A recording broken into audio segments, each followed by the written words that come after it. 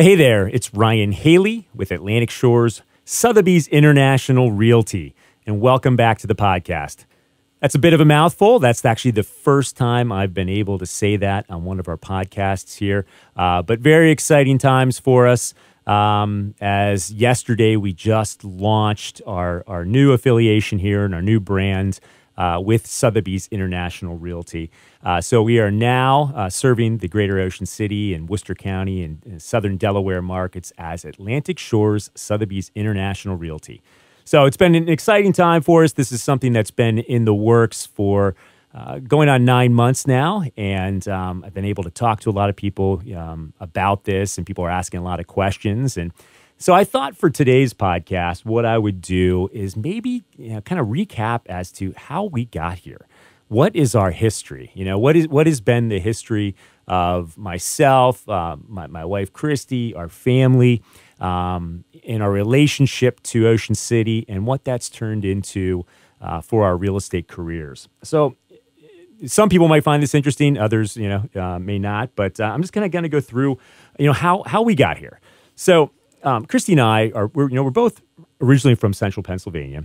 Um, and as kids, we always came to Ocean City, and we we kind of had this love affair with the beach, and always wanted to live here.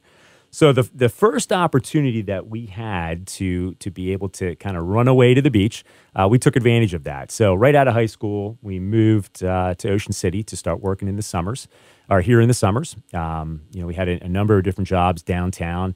Uh, first place we, we lived was on 8th Street, um, actually right by Malibu Surf Shop, um, which was pretty cool. And that's kind of when I got into surfing. But so we did that for a few years, worked here in the summers. Um, after about three summers, we decided, you know what, we, we, we like Ocean City too much. We're not going back. You know, we're, we're going to stay here, not going to go back to, to college in Pennsylvania. Um, ultimately decided to transfer to uh, Salisbury University to finish up. And at the time, we were working at, at Phillips Crab House. And so I guess this was probably about 2002. And when we were working at Phillips Crab House, we, there was some chatter. People started talking about this real estate market, um, about uh, the idea that real estate was going to be the next big thing. And so uh, a few other people there, a few other employees decided to get the real estate license, and I did as well. So I guess it was the, the winter of 2002. Uh, ended up going to the Ed Smith Real Estate School in West Ocean City and, um, and uh, had to do uh, kind of a condensed education process over there for pre licensing. And, and ultimately uh, went and took the real estate exam and passed. So that's where it started. Uh, at that point, uh, I knew I wanted to get into real estate, but unfortunately, I didn't know anybody who who wanted to buy any real estate. I didn't know anybody who wanted to sell any real estate. Um, so I was kind of lost. I didn't know where where I should go. So I started looking for a broker to to affiliate with, somebody who could uh, educate me and and get me started. And that's when I uh, landed with Compass Resort Real Estate on 72nd Street. Uh, a gentleman by the name of Jack Shapiro, uh, who was my first real estate broker. Um, and and he did you know he did a great job. He was very well educated in real estate. He had been a Long and Foster guy uh, before opening his own company. And I remember he sat me down in essentially in the corner and gave me uh, some tapes uh, called Floyd Wickman's Sweat Hogs, and basically told me to listen to these tapes and do what they tell you to do. And, um, and that was kind of the training program. So what it, what it forced me to do was get on the phones, uh, learn my scripts, learn my dialogues, and um, and start cold calling people. So that's that's where it started. We started cold calling, um, got a listing, did open houses, started meeting people, and and eventually the business started to grow. So we had eight great years at Compass uh, Resort Real Estate. Um, but at that point, uh, at the end of the eight years there, we had just gone through the downturn in, in the real estate market of 2008, 2009.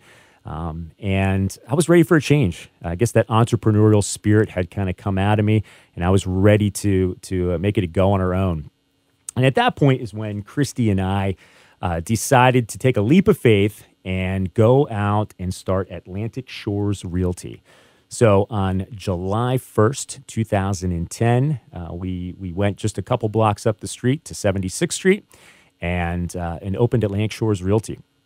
Um, and we did it on a, a, shoestring budget. You know, we didn't have a whole whole lot of money, but my whole main goal was to get the the business up and running and service the clients that I currently had, and, and maybe a little bit of growth um, along the way. So that that first year, you know, the idea was really um, work the clients we have, kind of stay as a mom and pop shop. Um, you know, we, Christy and I worked side by side together on a daily basis. The kids, our kids were really little at the time. Actually, we only had three of the four at that point. And, you know, they'd be upstairs in our office, running around, playing, playing some video games, running back and forth to the beach. And it was uh, a really cool kind of down home, uh, local independent feel. So that was 2010. We were able to um, to quickly gain some success. That first year, I think we sold maybe 30 properties. It was it was a good go. But I, I started investing in the internet. I started uh, researching uh, different ways to be able to attract more business. And before not too long, um, we, we were getting more opportunities than we could handle. So I, I, needed to, to reach out and try to find some help. We ended up hiring our first assistant um, who, who helped keep us organized and the business continued to grow. Um, as we got more sales under our belt, we, we needed some agents, and we we hired our first buyer's agent. Actually, Mike DePietro, who's still with us today, was was the first buyer agent we brought on, and and at that point he had been a local bartender. Um, but he came on, came on strong, and he's experienced tremendous success, which has been great to see him grow. But um, so fast forward to to the more uh, recent present here. We started as a mom and pop. We ended up growing to uh, a team of 14 of us, um, combined with agents and support staff. Uh, here, just finishing up 2019, uh, we had a we had a great year. Sold over 200 homes.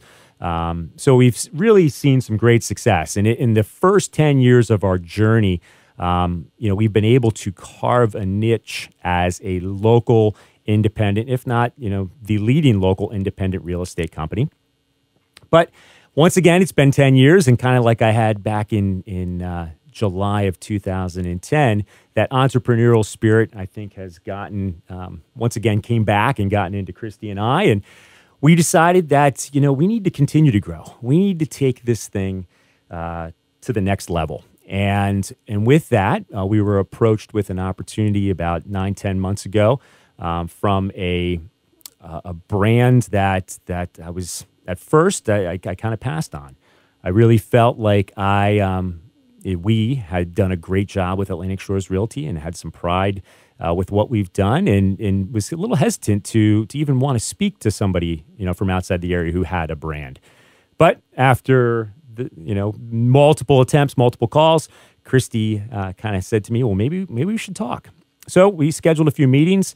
Uh, we did some investigative work. Um, the the brand idea, um, especially this particular brand, um, started to resonate with me, and, and, and did more research.